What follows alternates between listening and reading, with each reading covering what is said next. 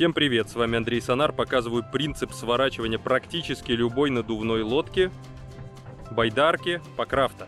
Вот у нас лодка, у которой мы открыли клапаны и воздух весь вышел. Первым делом раскладываем ее более-менее ровно. Дальше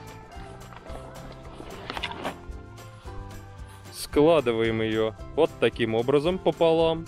После этого складываем ее вот так вдоль еще. А затем вот так, без всяких хитростей, сворачиваем в рулон в сторону открытых клапанов.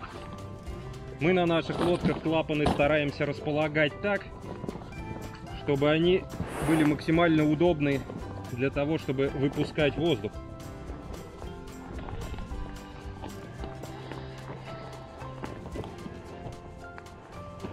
Воздух выдавлен, чуть-чуть отворачиваем лодку обратно.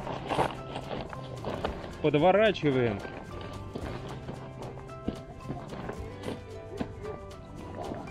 Таким вот образом.